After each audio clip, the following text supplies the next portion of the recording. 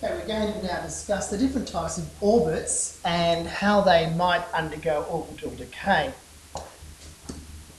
Firstly, the course requires us to do in detail two types of orbits. The firstly, a low Earth orbit, also known colloquially as a LEO, L-E-O, low Earth orbit. And um, we define that as a satellite which orbits between 200 and 2,000 kilometres above the surface of the Earth. So it's best just to remember that, you know, around about the 1,000 kilometre mark, plus or minus 1,000, um, as long as you're not in the atmosphere. So uh, it's, they're quite close to the Earth, and because they're close to the Earth, they have only a short period on average, if you average that range out and use Kepler's law, you'll find that the period of, of LEO has approximately a period of one and a half hours. So that means it orbits the Earth every one and a half hours or about 90 minutes. Um, the atmosphere uh, extends only around about 100 kilometres into space um, at the 100 kilometre um, mark uh, the, if you look outside a spacecraft, it would be black, so you wouldn't actually see atmosphere. Uh, but about 200 kilometres is where you start getting enough vacuum that uh, the orbit does not really um, get too much friction.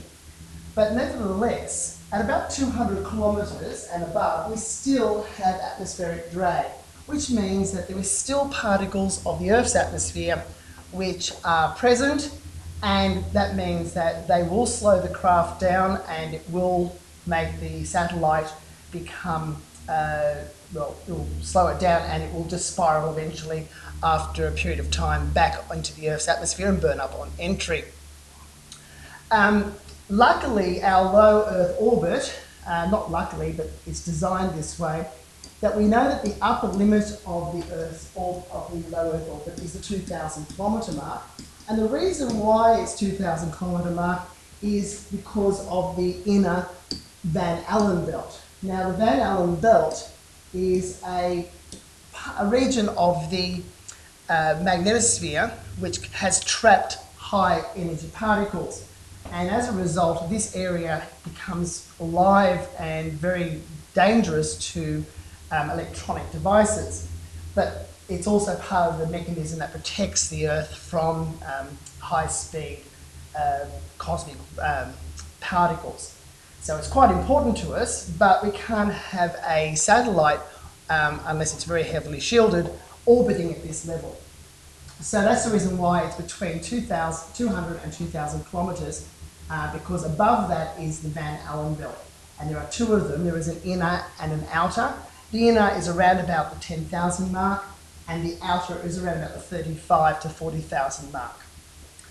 Um, also, the reason why we use a low Earth orbit is that uh, there is a very small time lag. In fact, it's nearly non-existent for communication satellites. When we send out a beam of a, any electromagnetic wave, whether it be a radio wave or a microwave, it still takes time, even though it travels the speed of light, to get to the satellite and then return. Um, nearly in the, when we're talking about satellites in this uh, distance above the surface of the Earth, it's nearly instantaneous. So we don't have much communication lag. There is no uh, large pause if we have two people talking to each other. Uh, we use this uh, orbit especially for satellites that need to observe the surface of the Earth directly or for communications because of the uh, minimal communications lag.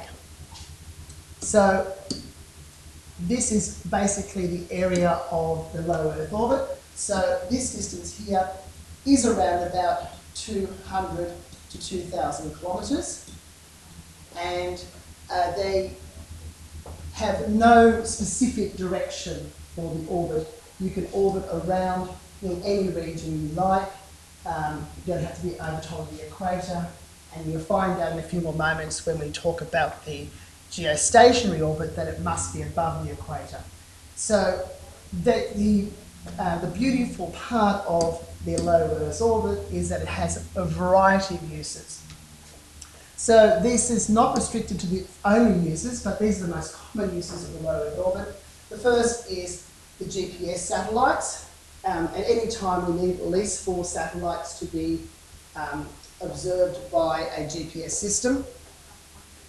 And so uh, we need to have a short period so that the G at least four um, satellites are in the sky or above an area at one time.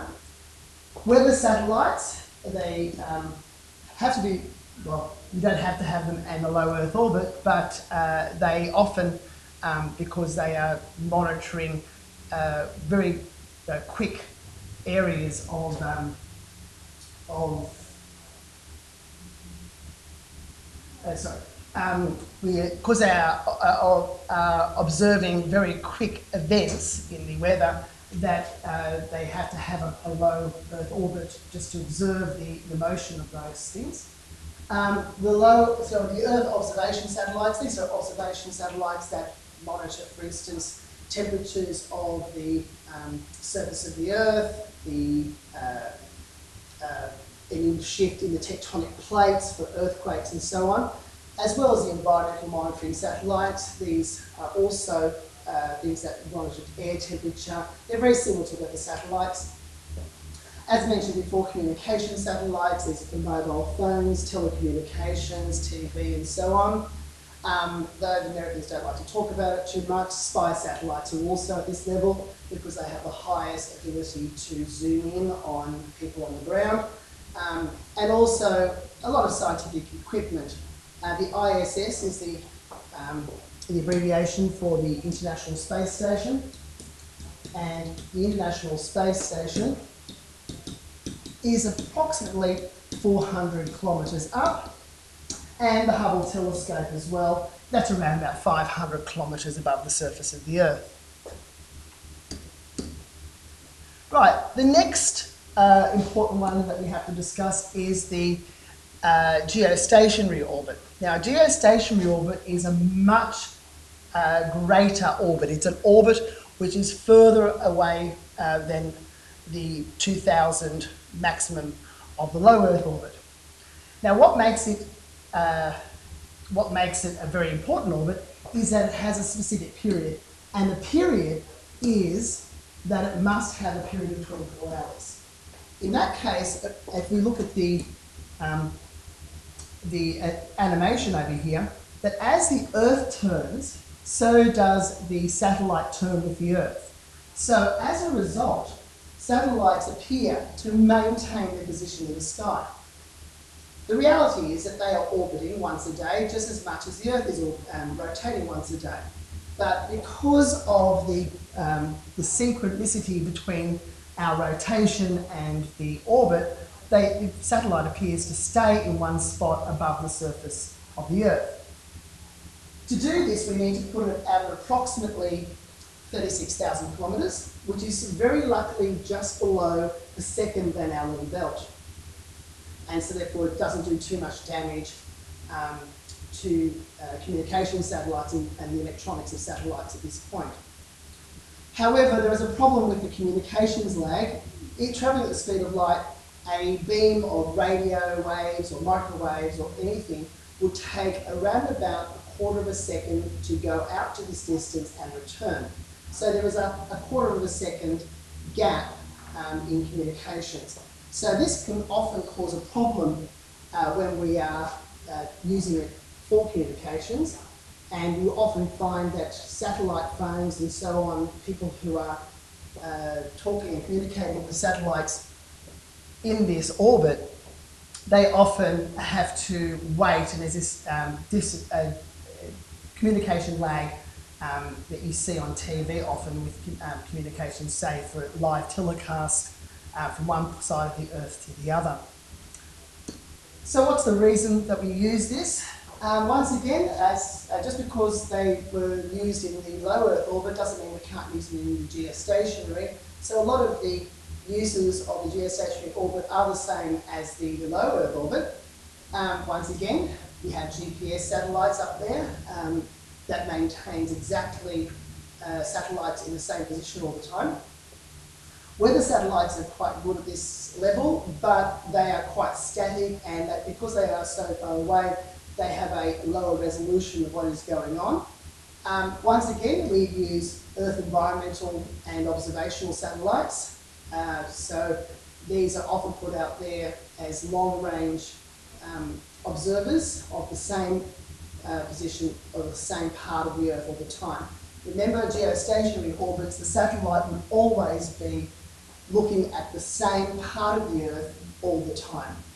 And we still use communication satellites for TV, for um, uh, for all those type of things, um, telecommunications, as well as uh, TV, as I just said.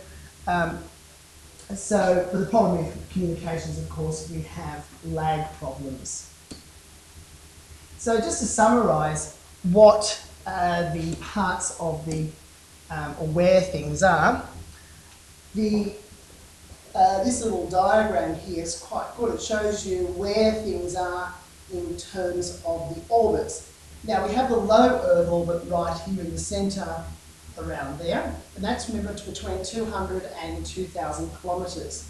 Now they've got these uh, the scale on this in megameters, so 10,000 megameters is another way of saying 10 kilometres. Oh, sorry, 10,000 um, 10, kilometres. That's what I meant. So let's put in the Van Allen belt. The Van Allen belt is around here. Let's get a bit of a darker colour there. Okay, so we have two Van Allen belts and they have a donut shape around the surface uh, of the Earth like that. And we, that's the inner ones, and we have an outer one. Now the outer one is actually, does encompass part of the geostationary orbit, but it is only, it's very thick just after it. So even though there is some Van Allen belt um, activity at the geostationary orbit, um, it is mostly uh, active after it. And here is the geostationary orbit around here. So, um, these are not the only two orbits. There are miles of other different orbits that are possible, and you can see that we have um, some other famous satellites like the Galileo satellite here um, in an orbit which is around about 20,000 kilometres above the Earth and so on. So just keeping in mind the uh, position of the Van Allen belts. The first one is around about one um, altitude of, um, I shouldn't say 1,000, I should say 10,000 to 16,000, there's a missing thing there. And the second outer belt is around about the 37,000 kilometre mark.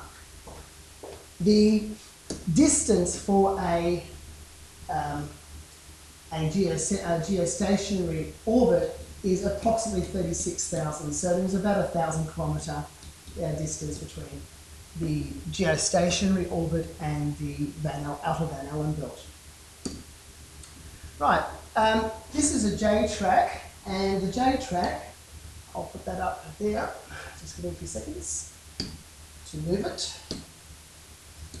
Yeah. The JTrack enables you to track the position of the uh, of satellites um, around the Earth in real time.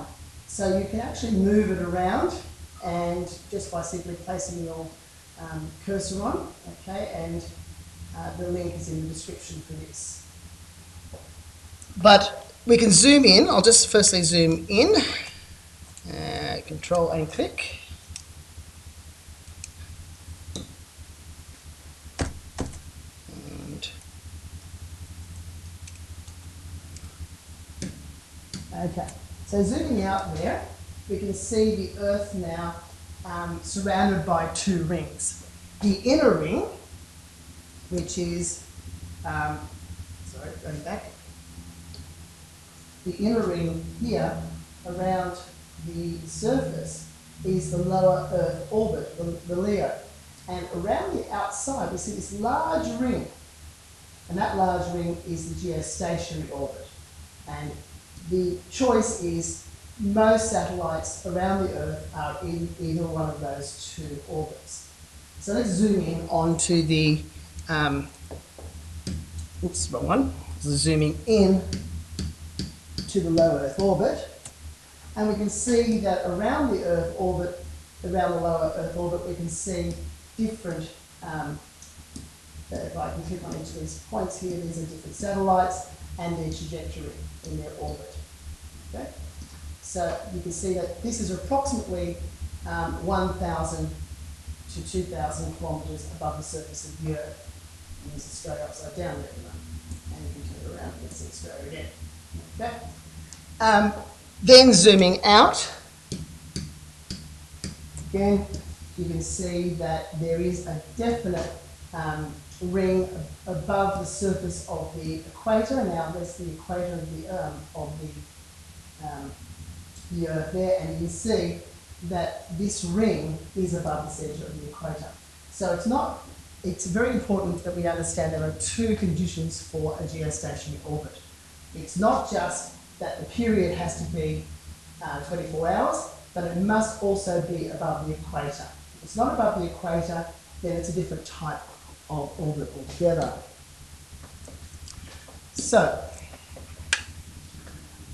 looking at those two uh, those two uh, different orbits, the one orbit that has a problem is the low Earth orbit because of orbital decay. Now, orbital decay is the process of prolonged reduction in the altitude of a satellite's orbit. In other words, if you have a look at this diagram over here, the, uh, the satellite starts at a distance above here, also say called the height of altitude there, and as time goes on, it starts to spiral further and further in towards the planet. Eventually, it's going to hit the really uh, thick atmosphere of the Earth and then just plummet straight through it and probably burn up or just strike the surface of the Earth. Now, the reason why this happens is that all satellites in low Earth orbit are subject to some atmospheric drag. In other words, friction with the particles of the atmosphere. Though the atmosphere technically does end approximately 200 kilometres up, there is still a very gentle region of atmosphere out here. Even though there's only a few particles per square uh, metre, it still is over time enough to cause friction and enough to cause the uh, satellite to reduce in altitude and eventually crash into the centre of the Earth, or the centre of the Earth, or the surface of the Earth. Um, now, why does this happen and why does it collapse back down? It comes to, uh, for all the idea of what we call orbital energies. Now, there is a, in your textbook, there is an explanation of how to derive this. This here, epsilon here, is a, what called the specific orbital energy. You can just calculate the orbital energy um, in terms of joules, but this is the joules per kilogram of the satellite. Now, it's um, the sum of the kinetic energies and the potential, gravitational potential energy. As we know, all satellites have potential, gravitational potential energy, and also, because it's in movement, kinetic energy. And that gives us total mechanical energy. If you divide that by the mass of the kilogram of the satellite, you get epsilon. We also know that the potential energy is a negative value, and so overall, the mechanical value, the mechanical energy of a satellite is, is negative. Now, here we have a look at this column in the centre. This is the specific orbital energy. And let's just take two values here. That's a negative 29, so that's, we'll just say that's negative 30. And this one down here, this is negative 8. Okay? Now, the altitude over here is in kilometres. So this is a lo very low, um, low orbit, and this is a still a low orbit, but it's a medium low orbit. orbit. Now what happens is, as an orbit gets lower and lower, closer to the surface, the value of a specific um, orbital energy, that's epsilon, gets more and more negative. So if you go to a higher orbit, the value rises towards zero. Now, the other thing we've got to remember is if I lose energy, this number is going to become more negative.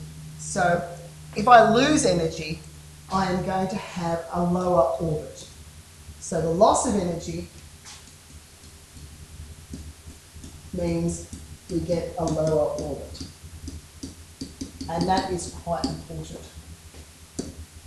So what happens is, we start with friction with the atmosphere, and it causes a loss of energy. And the loss of energy is kinetic energy is converted into heat. Okay? This lowers the energy, lowers total energy of the satellite. Now, if I lower the total energy, then my orbital energy decreases as well. In that case, epsilon goes down. When we just discovered that if epsilon goes down, then that means the radius goes down as well, the altitude. The radius of orbit from the centre of the Earth must decrease, and therefore the altitude, which is the height, also decreases. So the height of the orbit goes down. As we go towards the surface of the Earth, here's our Earth, and don't forget around the surface of the Earth is a nice thick layer of atmosphere. As we fall closer to the surface of the Earth, we encounter more and more atmospheric friction with more and more particles. And that means that we are going to have increased atmospheric friction. So if we have increased atmospheric friction, then the whole thing starts to repeat itself. So with increased friction comes increased conversion into heat and kinetic energy, so increased loss of energy, increase of the lowering of orbital energy, and an increase in the loss of altitude. And this cycle continues as we spiral further and further in towards the atmosphere until we actually enter the atmosphere, which then significantly um, shuts the process down and we crash um, into the atmosphere, uh, sorry, into the surface of the Earth. This here is a jumble which is trying to uh, work out which order to place all these things in. And let's just move this one up here so can read it, so you can see all these things. So if you want to take a few moments and pause the video and you can work out what order we should put these in. And then I'll, there are seven statements here and they all form a account for the orbital decay in low Earth orbits. So just pause the video and see if you get it right. So take a few moments.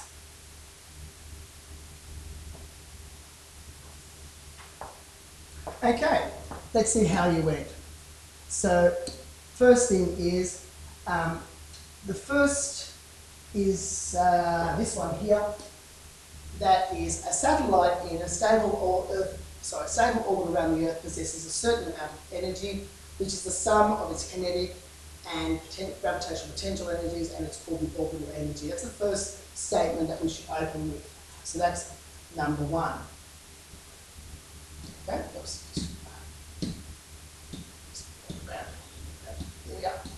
1. Okay, then the next statement which makes sense in order would be that satellites in a low Earth orbit are subject to friction with the outer fringes of the atmosphere. Then number three is continuing on the theory, the, the um, theme of friction, is that friction results in a loss of energy as kinetic energy is transformed into heat. Number four the loss of kinetic energy means the, sat the satellite slows down in the forward direction, which is the tangential motion. So that would mean that it actually loses kinetic energy in the forward direction. But then number five, as the satellite loses tangential velocity, it no longer has enough energy to stay in its present altitude, and the satellite drops down, because it just plummets towards the centre of the Earth, but it's doing it in such a way that it's on a very, very long spiral, down to an altitude that corresponds with its new lower orbital energy. Remembering, as we lower orbital energy, I also have to lower altitude. The next is number six, And number six is that over here. As the satellite moves downward, the satellite also increases its velocity as gravitational potential energy is converted to kinetic energy. So we are going towards the surface of the Earth, we are dropping, therefore we do actually increase downward direction of, uh, if you want to say downward kinetic energy, but there's no such thing as downward kinetic energy, but um, that's a good way of looking at it. And finally, number seven, this is the process which is called orbital decay. It's a cyclic process. As the satellite's new lower orbit resi um, resides in a slightly denser section of the atmosphere, which leads to a further friction, further energy loss, and the process goes on and goes on. It doesn't just repeat itself, but it repeats itself at a faster and faster rate. Eventually, we would spiral into the surface of the Earth. Okay. So the one thing that we need to be able to do is to calculate the radius of orbit of a geostationary orbit. And the way it is done is that we will use Kepler's law of periods and we want to find the radius of the orbit. So we know that the period is 24 hours. We know that the orbit is around the mass of the Earth as being 5.97 by 10 to the power of 24. And we want to find R cubed. So we need to, um, once you've calculated that, that will be around about 42,000 kilometres. So I'm leaving you to do this yourself. Um, if you want to find the altitude, so that'll be WR there, uh, then uh, you need to subtract 42,000 minus around about 6,400 kilometres, which is the uh, radius of the Earth down there. Okay, and that will give us about 36,000 kilometres. So take a few moments to do that because you need to be able to calculate the um, radius of orbit of geostationary orbits as well as its altitude. Okay, the other thing we need to be able to do is to fill out a table such as this. Um, you need to know the following information about a um, low Earth orbit and geostationary orbits. Um, make sure that you memorise their approximate altitude, the approximate periods of orbit, and the extent of orbital decay. So we'll go there first to summarise it. We know that low Earth orbits are somewhere between 200 and 2,000 kilometres. Geostationary orbit is a specific value and it's 36,000 approximately kilometres above the surface of the Earth. The period of orbit of a geostationary orbit is fixed at 24 exact hours, one sidereal day. Um, the period of orbit for uh, a low Earth orbit can be in a matter of maybe 50 minutes all the way up to about two hours. So it's approximately on average one and a half hours. Um, there is very little, nearly none, um, orbital decay for geostationary orbits, um, and there is a high level of orbital decay for low Earth orbits. You can go back and work out what the uses for satellites in this orbit are, and most of them, these uh, uses for the low Earth orbits are the same as geostationary.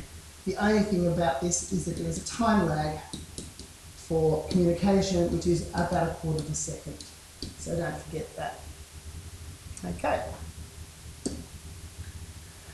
There are, um, though the, uh, the syllabus does not mention them, these have been mentioned in the HSC before and often have confused people. You do not need to know much about um, these following or other orbits. Just realise that they do exist and just be familiar with them as well so that you um, if they do mention them as a part of a question, you don't get thrown by that. The first one that they have mentioned in the past is a geosynchronous orbit. A geosynchronous orbit is the same, has the same period as 24 hours as a, um, as a geostationary, but it's not above the equator, and that makes this uh, different. Now, if it's above the equator, it would be geostationary and the satellite would appear to be stationary in the sky.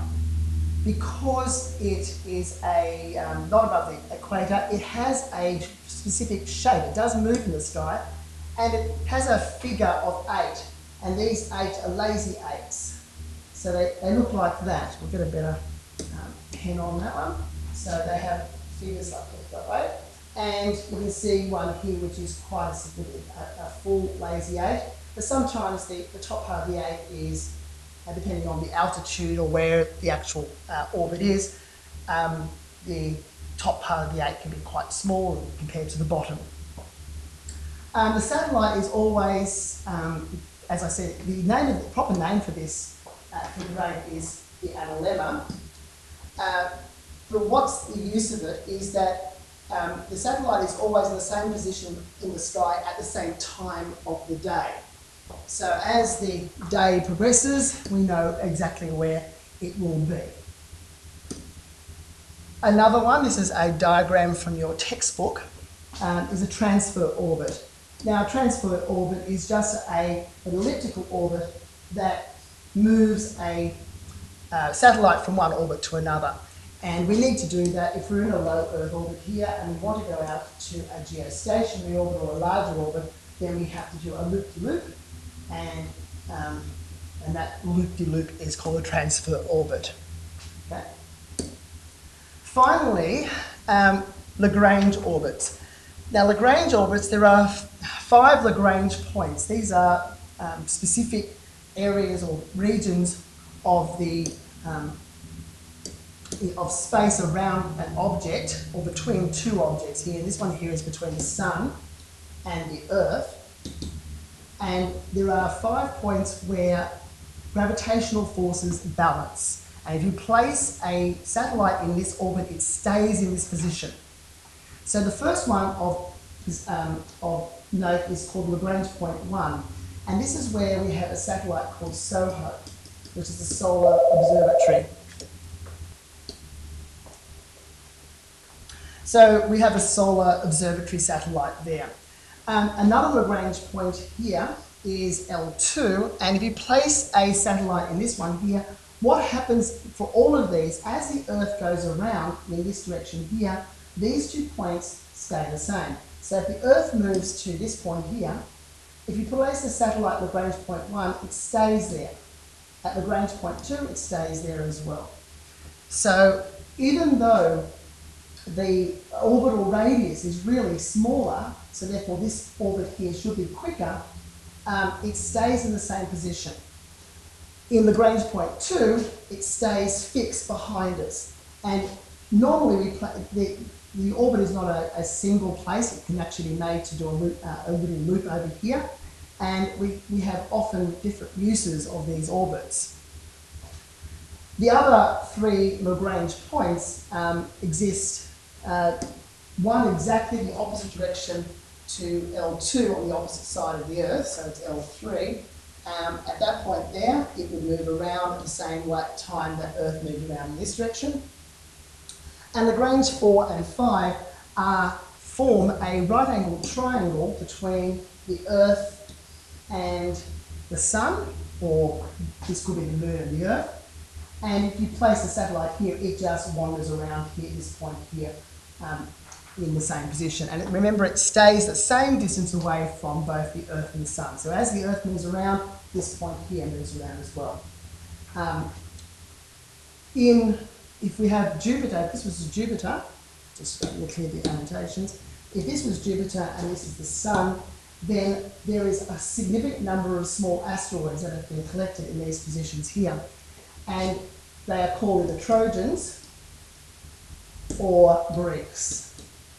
And so the Trojan asteroids are asteroids which precede the orbit of Jupiter, and the Greeks are the asteroids which after it. And the reason why they're called Trojan or Greeks is it is named after famous Trojans and famous Greek warriors.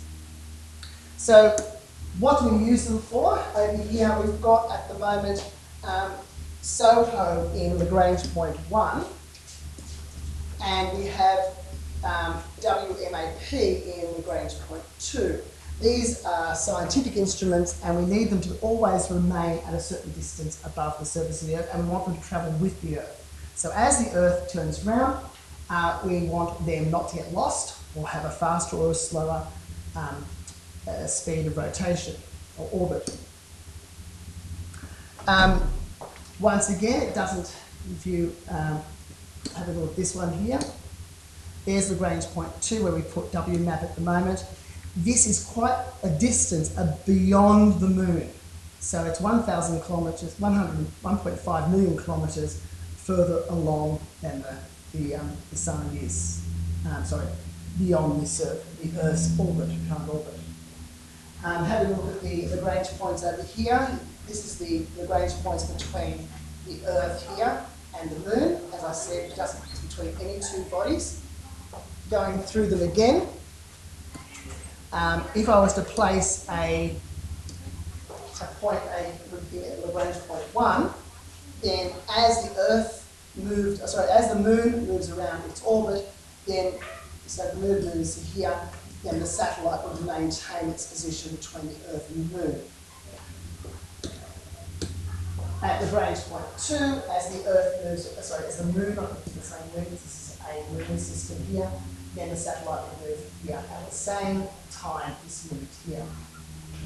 Lagrange 4 um, and 5 form a right, sorry, an equilateral triangle, and Lagrange point 3 form a distant, equidistant base another triangle. Uh, the reason why I'm mentioning Lagrange points is that um, in 2010 the HSC actually uh, mentioned a Lagrange type orbit and it was, uh, it threw a lot of people. So here we've got in 2014, uh, the James Webb Space Telescope will be placed in orbit around the Earth, sorry, around the Sun, um, Earth and, sorry, around the Sun. Earth and the w, JWST will follow the orbits as shown.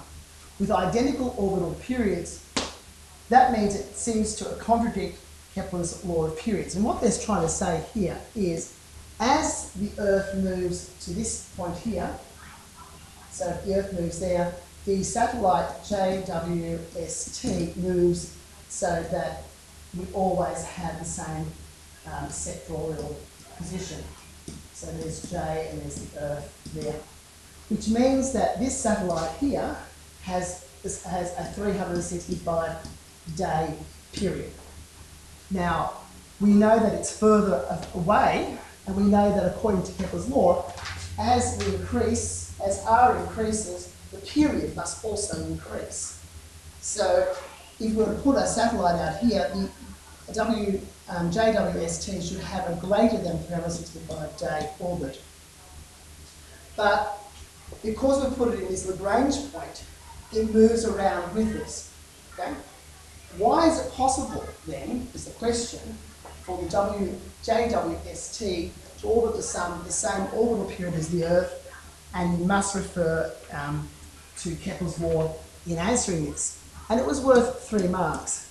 And um, a lot of people could score one or two marks but not get the third. So let's have a look at what you would need to say is you could mention that you are in a Lagrange point, but you need to explain why um, the Kepler laws of period would not apply in the situation. The reason being is for Kepler's law of periods to apply, there must only be one central body of orbit. In this case, there are two. The uh, satellite is going to orbit both the Earth and the Sun. And therefore, when we are using Kepler's law of periods, uh, the K value would be um, changed because we're not just talking about the sun, we're also including the earth. So both, both the earth and the sun's gravitational forces influence the satellite's motion, and because we have placed it in a perfect Lagrange orbit, that means that it's a perfect point of balance. Any other point would it would not have the same orbit as us, or the same period as us. Um, and to they also required you to say something like this, that Kepler's law equates gravitational forces with centripetal force, and the centre of rotation will no longer be the Earth or the Sun. It's somewhere between them.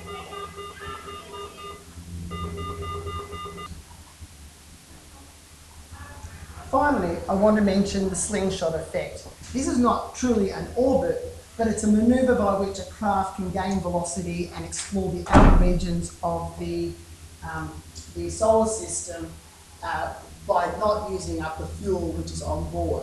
In many cases, we use this with uh, not satellites but probes, which have no internal um, fuel, uh, for small amounts just to manoeuvre or um, shift orbits very, very gently. The slingshot effect has a few names by which you might want to search it on Google. The first one is the planetary flyby, also called swing by, or gravity assist. So once again, it's a manoeuvre by which a craft gains velocity using the gravitational field of a planet with very little expenditure of fuel. Very simply, what happens is if I have an object and an object will start to accelerate and fall towards a planet. If the planet itself is also moving, then this object here starts to pick up some of the velocity of the planet. So as the object falls towards the planet, it is starting to pick up and get faster um, by the planet's velocity. If we fall towards the planet, but we slightly miss it, in other words, let's take for instance the most famous flyby position is Jupiter. So we place our satellite or probe out here. We direct it not to fall directly towards the, the planet, but we directly aim it towards the side of the planet. Now, hopefully Jupiter might be working, going off this direction here. As it falls towards the planet, it will gain velocity, getting larger and larger and larger. When it gets towards this point here, we just make sure that we have enough fuel just to push it around and fling it off the other side. So as it gets through here, it increases its velocity and then just fire a little bit of a rocket burst to change its trajectory and off it goes. So it started to gain from a smaller value and using a small amount of energy um, and fuel, we have used the gravitational field of Jupiter to increase the velocity of the um, satellite.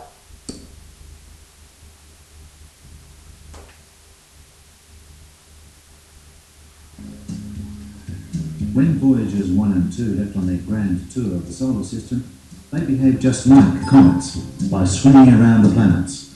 And as the planets were travelling, they gave the Voyagers an increase in velocity. This is known as a slingshot. Navigation had to be exact, so that each Voyager would intercept the next planet as it passed through its orbit.